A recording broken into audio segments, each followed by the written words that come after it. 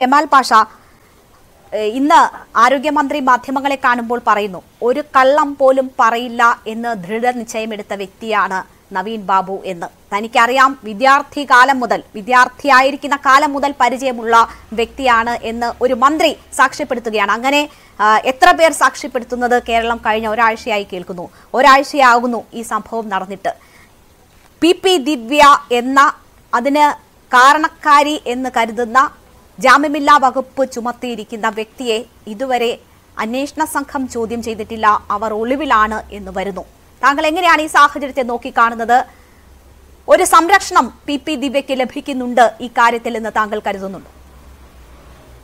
സംരക്ഷണം ആരെങ്കിലും കൊടുക്കുന്നെന്ന് എനിക്ക് അറിഞ്ഞൂടാ പക്ഷേ പോലീസ് കൊടുക്കുന്നുണ്ടെന്നുള്ളത് സത്യമാണ്. ആരെങ്കിലും പറഞ്ഞിട്ടാണോ അതോ പറയാതാണോ എന്നുള്ളതിനെ കുറിച്ച് അറിഞ്ഞൂടാ.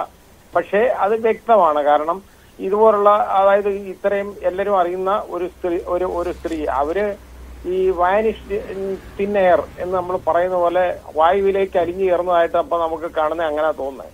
അപ്പൊ ആ രീതിയിൽ പോകുമ്പോ പോലീസിന് ഇവർ എവിടാന്ന് അറിഞ്ഞുകൂടാന്നൊക്കെ കണ്ടില്ലെന്നും കണ്ടുപിടിച്ചില്ലെന്നും ഒക്കെ പറയുന്നത് വളരെ വിശ്വസനീയമായിട്ട് എനിക്ക് തോന്നുന്നില്ല പോലീസിന്റെ ഭാഗത്ത്. പോലീസ് മനഃപൂർവമായിട്ട് അവരെ അതിനെ എയ്ഡ് ചെയ്യുന്നു. അത് ഈ ആന്റിസിപ്പേറ്ററി വേല അവർക്ക് കിട്ടുമെങ്കിൽ പ്രശ്നമില്ല. കിട്ടുന്നത് വരെ അവരെ അറസ്റ്റ് ചെയ്യുന്ന സംരക്ഷിക്കുന്നു എന്നുള്ള ഒരു തോന്നൽ വരുന്നുണ്ട്. ആളുകൾക്കൊക്കെ ഉള്ളതാണ് ആ തോന്നൽ പിന്നെ ഇതിനെക്കുറിച്ച് ശരിയായ ഇൻവെസ്റ്റിഗേഷൻ വേണം.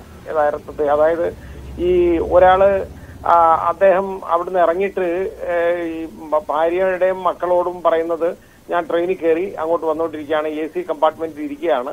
എന്ന് പറഞ്ഞായിട്ടൊക്കെ പറയപ്പെടുന്നുണ്ട്. എനിക്കറിയത്തില്ല ഉള്ളതാണെന്നൊന്നും എനിക്ക് അറിഞ്ഞൂടെ ഇത് മാധ്യമങ്ങളിൽ നിന്ന് കാണുന്നതാണ്.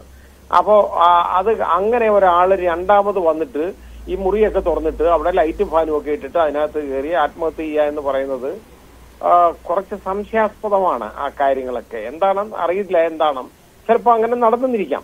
മാത്രമല്ല പിന്നെ ഈ ക്വാർട്ടേഴ്സ് ഒഴിഞ്ഞു പോകുന്നതല്ലേ? അദ്ദേഹം അവിടുന്ന് നാട്ടിലേക്ക് അങ്ങ് പോവാണ്. അടുത്ത സ്റ്റേഷനിലേക്ക് പോവാണ്. ഈ ക്വാർട്ടേഴ്സ് പോകുന്ന ഒഴിഞ്ഞു പോകുന്ന ആൾ താക്കോൽ കൊണ്ടുപോകാൻ സാധ്യതയുണ്ടോ? ഇല്ല വളരെ വളരെ ഒരു ഒരു അതായത് ഞാൻ പറയും വളരെ ദുരൂഹമായ ഒരുപാട് കാര്യങ്ങൾ ഇതിനകത്തുണ്ട്. അതിനെക്കുറിച്ച് ശരിയായ ഒരു അന്വേഷണം തന്നെ നടത്തണം.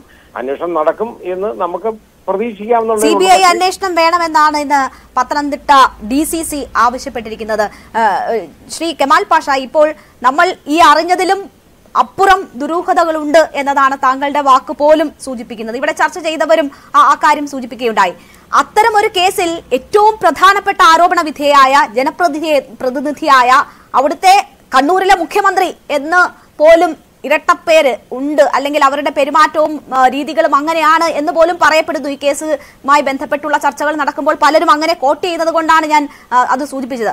അത്രയും അധികാരമുള്ള പവർഫുള്ളായ ഒരു വ്യക്തി അതിൽ ഉൾപ്പെട്ടിട്ടുണ്ട്. അവരെ ഒന്ന് ചോദ്യം ചെയ്യാൻ പോലും തയ്യാറാകുന്നില്ല എന്നത് തെളിവുകൾ നശിക്കപ്പെടുമോ എന്നൊരാശങ്ക തോന്നിയാൽ അങ്ങനെ തോന്നുന്നവരെ കുറ്റം പറയാൻ പറ്റുമോ? ഇല്ല അതേ ഞാൻ പറഞ്ഞത്. അതായത് ഈ ഇൻവെസ്റ്റിഗേഷൻ എന്ന് പറഞ്ഞ ഇപ്പൊ ഇതിന്റെ ആദ്യത്തെ സ്റ്റേജ് ഇപ്പോഴെന്ന് പറയുന്നത് വളരെ നിർബന്ധമായിട്ട് നേരത്തെ ചെയ്യേണ്ടതാണ്. പിന്നെ ആ മാത്രമല്ല ഫോറൻസിക് എവിഡൻസ് ഒക്കെ വളരെ അധികമായിട്ട് പരിശോധിക്കേണ്ട ഒരു കേസാണ് ഇതിനകത്ത്. അതൊക്കെ എന്തൊക്കെ ചെയ്തിട്ടുണ്ടെന്നുള്ളതൊന്നും നമുക്കറിയില്ല. ജാമ്യാപേക്ഷയിൽ പറയുന്ന കാര്യങ്ങൾ പോലും പച്ചക്കള്ളമാണ് എന്ന് വെളിവാവുകയാണ്. അതെ അത് അത് സംശയമില്ലാത്ത കാര്യമാണ്. ഇപ്പൊ കളക്ടർ കളക്ടർ വിളിച്ചിട്ട് അവർ പോയേക്കുന്നെന്ന് പറഞ്ഞു. അത് വലിയ ഇമ്പോർട്ടന്റ് ആയിട്ടുള്ള ഒരു കാര്യമല്ല. വിളിച്ചോ വിളിച്ചില്ലയോ എന്നുള്ളതല്ല പ്രശ്നം. അതെ അവിടെ പറഞ്ഞ വാചകങ്ങളും അത് ആത്മഹത്യയിലേക്കാണെങ്കിൽ അത് നല്ലതിലേക്ക് നയിക്കുന്നതുമാണ്. ഇത് ആത്മഹത്യ അല്ല എന്ന് വന്നു കഴിഞ്ഞാൽ ദിവ്യ രക്ഷപ്പെടും കേട്ടോ. ഉള്ള കാര്യം ഞാൻ പറയാം. കാര്യം ആത്മഹത്യ അല്ലെന്ന് പറഞ്ഞു കഴിഞ്ഞാൽ അല്ല എന്ന് വന്നു കഴിഞ്ഞാൽ കാരണം പിന്നെ ആത്മഹത്യ പ്രേരണയില്ലല്ലോ. അപ്പൊ ഒന്നോട്ട് എയ്റ്റ് അനുസരിച്ചുള്ള ഒഫൻസ് ഒന്നോട്ട് നോട്ട് എയ്റ്റ് അനുസരിച്ചുള്ള ബി എൻ എസ് അനുസരിച്ചുള്ള ഒഫൻസ് പിന്നെ വരത്തില്ല. അപ്പൊ എന്തായാലും ഇത് ശരിയായ രീതിയിൽ അന്വേഷിക്കണം. ഇതിന്റെ പുറയിൽ ഒരുപാട് ദുരൂഹതകളുണ്ട്. അതെന്താണെന്ന് കണ്ടെത്തണം. അത് ജനങ്ങൾക്കെങ്കിലും ഒരു നല്ല ഒരു രീതി ഒരു മെസ്സേജ് അയക്കണം ഈ ഇൻവെസ്റ്റിഗേഷൻ ഇവിടെ ഒരു ഒറ്റ കാര്യം കൂടി. ഇവിടെ ഈ മുൻകൂർ ജാമ്യാപേക്ഷ തേടുന്നു എന്നത് കൂടുതൽ തെളിവുകൾ ശേഖരിക്കാനുണ്ട് എന്നത് രണ്ടും ഈ ചോദ്യം ചെയ്യുന്നതിനോ അവരെ അവരിൽ നിന്ന് വിവരം ശേഖരിക്കുന്നതിനോ അറസ്റ്റിലേക്ക് നീങ്ങുന്നതിനോ എന്തെങ്കിലും മാർഗ തടസ്സം സൃഷ്ടിക്കുന്നതാണോ? ഒരു തടസ്സമില്ല യാതൊരു തടസ്സവുമില്ല. നമ്മൾ കണ്ടിട്ടുണ്ടല്ലോ കോടതിക്കകത്ത് ഓടിക്കേറിയ ആളിനെ പിടിച്ചുകൊണ്ട് പോകുന്നത് നമ്മൾ കണ്ടിട്ടുള്ളോ അല്ലേ അതൊന്നും വലിയ പ്രശ്നമൊന്നുമല്ല. അവർ വേണമെന്ന് പിടിക്കണമെന്ന് പറഞ്ഞു കഴിഞ്ഞാൽ പിടിക്കും.